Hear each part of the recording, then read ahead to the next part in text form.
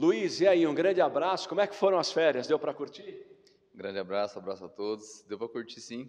Graças a Deus a gente pôde ficar com a família, regenerar, reestruturar aí, agora é voltar 100% aí para o nosso novo objetivo. Futebol é assim, vocês subiram, uma grande festa, a torcida se envolveu, mas na hora que começar a Copa Paulista, ninguém mais vai lembrar do Campeonato Paulista e as cobranças serão outras. O elenco está preparado, até porque comercial subiu seu patamar, fez uma campanha irretocável no Campeonato Paulista da Série 3, e quando você alcança mais, a torcida exige mais. Vocês estão preparados para isso? A gente está preparado, está se preparando. É... A gente sabe que, é... começa tudo do zero, né? A gente se apresentou na semana passada, já o assunto já é esse, começou tudo do zero. É... O time que, que terminou o campeonato pode ser que não seja o mesmo time que inicie. Isso aí, a parte do Gustavo, ele vai fazer da melhor forma possível. E a gente está preparado. Sabe que a torcida vai cobrar a gente, sabe do objetivo que a gente tem, não só na Copinha, mas na, na preparação da A2 também. E a gente está todo dia aí tentando melhorar para estar tá firme e forte nos campeonatos. O grande objetivo do comercial era a Série A2, todavia ele vai passar pela Copa Paulista. Dá para jogar uma competição separando da outra, que foi o grande objetivo do comercial? Dá para jogar a Copa Paulista sem ter a cabeça na Série A2, Luiz? Dá para jogar. A gente sabe que vai ser uma Copa Paulista difícil, é, que a gente vai, estar tá com, vai ter que estar tá concentrado e focado no objetivo de ser campeão. Outros clubes têm, têm se estruturado, têm contratado, têm melhorado as suas bases, né? E a gente tem que, tem que focar só na copinha. A gente pensa, a partir do momento que terminar a copinha aí, a gente vai pensar na 2 e fazer um, um novo planejamento aí para o campeonato da 2. Fora o Come Fogo, que é um campeonato, dentro de qualquer campeonato, né? História do Come Fogo, da história. Quem é o clube que vocês estão vendo como um sério candidato nessa disputa da Copa Paulista? A gente sabe que o Come Fogo é um campeonato à parte, né? Sabe da importância, sabe da, da, da relevância que tem aqui na, na, cidade de Ribeirão Preto. E além do Botafogo, a gente sabe que tem o Noroeste, né? Que foi nosso último embate aí. Tem o Água Santa também, que, vem, que sempre vem forte, a portuguesa. E que eles possam entender também e, e confiar que o comercial também vem forte aí para bater de frente. Tá bom, alguns reforços estão chegando. É até engraçado, porque agora você vai ter dois Romários. Se os dois jogarem junto, a hora que você gritar Romário, como é que vai ser? a gente está tá nesse embate também nos treinos aí. Às vezes chamam um de Roma, outro de Romário, Romarinho.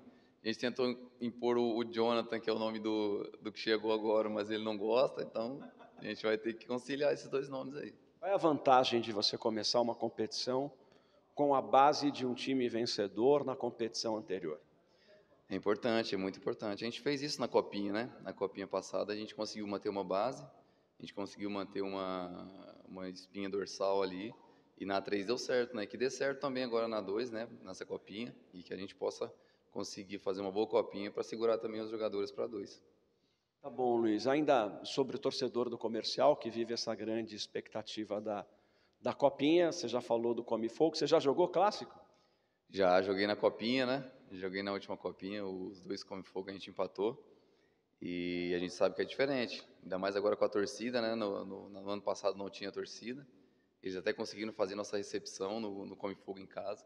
Mas a gente sabe que a nossa torcida é, é diferente, faz, faz a diferença nos jogos é, mais decisivos que a gente precisa. Luiz, é, você está em três competições. Você disputou o Campeonato Paulista da Série A3 esse ano, Vem aí a Copa Paulista, que é uma outra competição com características diferentes, e vem aí uma Série A2. Havia um tempo que a Série A2 era meio baba do boi, hoje não é mais. Os times estão extremamente profissionais, é uma competição que está realmente acima, na minha opinião, muito acima da Série A3. Como é que, como é que vai ser para vocês jogar essa Série A2, uma competição que exige de qualquer time de futebol que a Série A2 ficou muito acima da Série A3. Você concorda? Concordo, concordo. É, já joguei duas vezes, tive o privilégio de participar duas vezes de outros, em outros clubes da, da Série A2. E é um campeonato atípico, né? Todos os times são praticamente é, iguais, né? É, tecnicamente, fisicamente. E é um campeonato que a gente tem que saber jogar. Não é teoricamente a gente fala, ah, campeonato difícil, campeonato é fácil, é jogar o campeonato e entender como que é e, e saber que a gente tem que, de, de qualquer forma, entrando no início, ao final, a gente tem que buscar a vitória. Tá bom. Uma última pergunta. Para começar o Campeonato Paulista, o comercial acabou perdendo para o Sertãozinho, que vai ser de novo o primeiro adversário do comercial numa, numa competição, mas era começo de ano, as férias do final de ano elas são mais longas. O comercial demorou um pouquinho para engrenar no Campeonato Paulista da Série 3. Vocês já disputaram a Série 3, o, as férias foram um pouquinho mais curtas.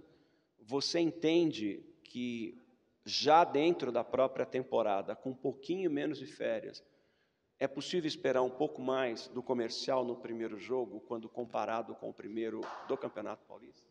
Com certeza. É, no primeiro jogo da 3, o Sertãozinho meio que serviu como start para a gente, né? Para a gente virar a cabeça e falar assim, não é dessa forma, a gente tem que fazer diferente. Aí já no segundo jogo a gente conseguiu fazer melhor e gradativamente a gente foi crescendo no campeonato.